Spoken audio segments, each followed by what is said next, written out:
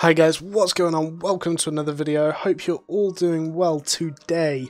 Uh, today we have the 5v5 inter invitational tournament. We've got round one versus uh, with Overlords versus KDS here. I'm going to be doing a bit of an analysis of it. Thank you to Evoke and all the other people over at Albion for allowing me to do this. Guys, go and check out the stream. It's going to be streaming today, tomorrow, the day after, and the day after that. So Monday, Tuesday, Wednesday, Thursday. Thursday is the final, so definitely make sure you're there for that one if you can't be there for the rest. Uh, so I was allowed to cast today, and it was a great experience. Shout out to Lupac for uh, co-casting with me. Um, but yeah, so I've been told I'm allowed to do the coverage, a bit of an, an analytical point of view to put on the channel. So uh, yeah, here we are. We've got KDS and Overlords here. KDS are a very, very dominant team. They have been for a while. Overlords are a team that have been very dominant in the past. Obviously, not particularly active right now, but again, both very, very good teams. Uh, we do see some very, very close fights coming out here as well. So uh, first up, here we go, match one.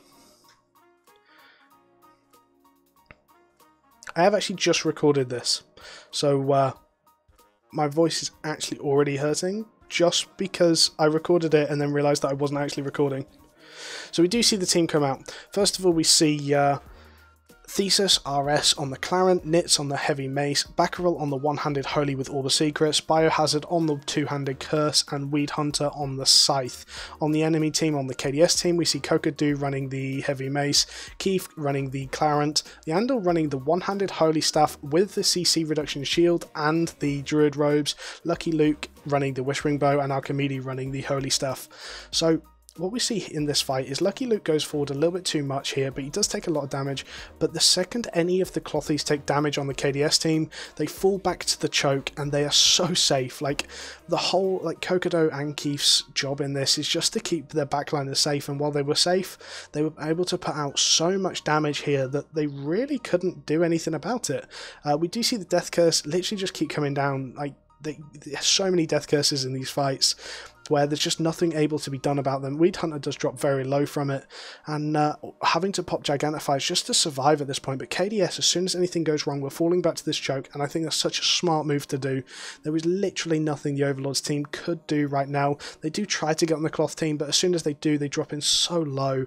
They just don't seem to have the right mentality with this. They're trying to put too much damage and emphasis on Coco and Keith, and uh, the KDS team allowing them to just basically sit back and poke. They didn't really have to go in and sort of be silly with it. They knew they were safe, and then they had the Overlords very, very low, even though they tried to disengage.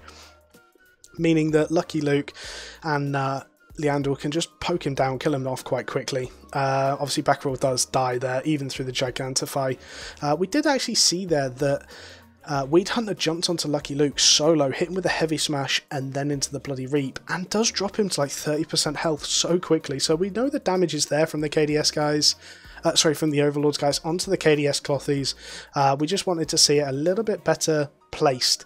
Uh, so we do see a victory over to KDS right at the start. I think the Death Curse and the Whispering Bow were definitely the carries in that one. Kokadu kind of just had to peel off uh, he didn't really have to make any big, big, massive plays. He just had to peel people off, and he was pretty safe. Uh, Overlords, we talked about this on the stream. We, we wanted Overlords to really put pressure on those Clothies because allowing them just to be able to sit there and relax and fight freely was really, really a bad idea for them. Uh, so I'm going to skip over to the next fight here.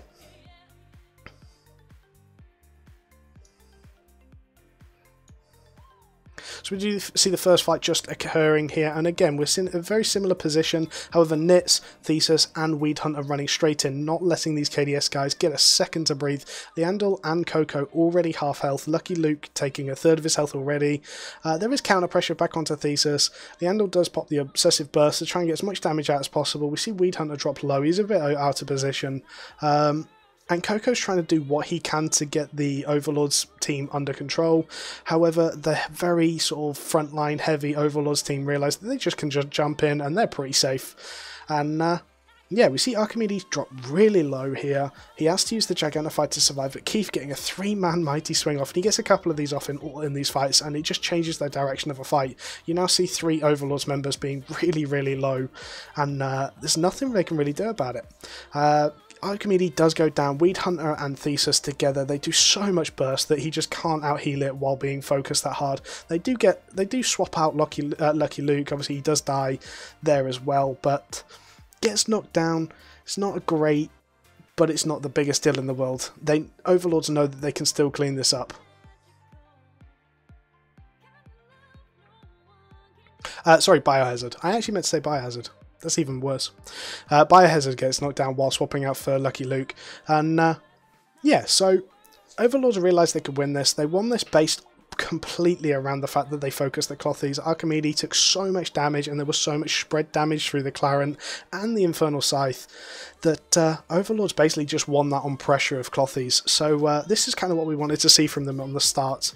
And uh, yeah, so we'll move on to the third fight and final fight of the uh, of this round. So we see the fight just happening here. Now what happens here, I'm just going to say, a lot of these fights, because obviously there's no caps involved, it's just a fight, it's very positional play. We saw Overlord secure the mid cap first of all, and uh, KDS realised that they can't really push up that choke and hold the choke like they did in the first fight. The second fight they were kind of tried to and it didn't work for them, so they wasted it. Um, and in the third one, they realised we're not even going to try and contest the choke, we're just going to sit back. And this is a really good idea from them. I actually really like what Lucky Luke's doing here. He's playing really forward, and anyone anyone would think right now that Lucky Luke is trolling. what he's actually doing is baiting the poke and baiting the engage out of the Overlord's team and able to swap out poke back. And he's putting out a significant amount of damage. We see Lucky Luke gets um, snare charged, looking to win Will in, but already manages to uh, assassin boots through. Now, this means that Nitz has burnt a lot of his tanking and defensive abilities for his team on trying to on basically a bait from KDS, and this was really strong because Nitz couldn't really do much then in the grand scheme of things.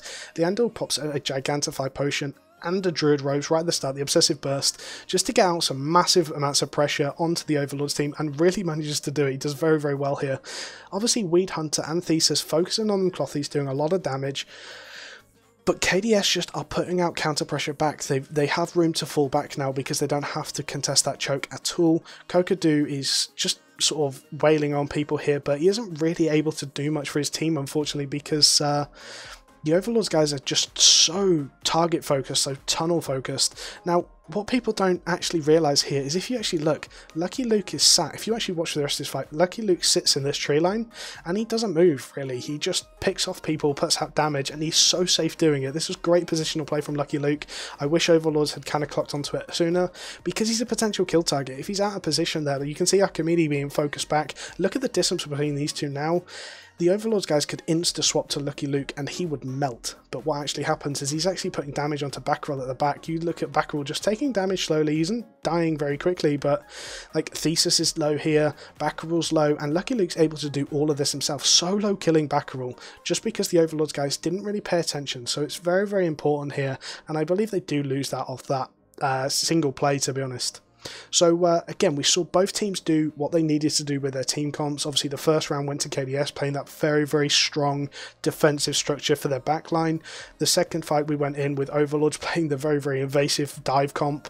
Uh, and the third one's KDS realised they couldn't hold the choke, so they sort of fell back and kited back, doing a lot of damage while they did it, and uh, took the victory. So guys, the stream's going to be on for the next three days. Obviously, it happened tonight. There's another three days to go. And on the fourth night, it will be the finals. It'll be a very hypey night. Try to be there for that, guys. Even if you can't get the rest of them, try and be there for that one. Uh, I believe it's on Thursday, if I've got my days wrong. Right, it is on Thursday. Because I'm recording this at 1.44 in the morning, because like I'm a crazy person. Um, but yes, guys. So, thank you for watching. Like, comment, subscribe for the channel. A big thank you again to all the Albion guys for allowing me to do this using the VODs off their channel. Um, but yeah, so uh, thank you for watching guys and uh, hope to see you on the stream while we're watching this 5v5 international international invitational tournament. Uh, I will be doing coverage of all the other fights as well, so there's more to come in the next couple of days, guys. Thanks for watching and catch you later. Goodbye.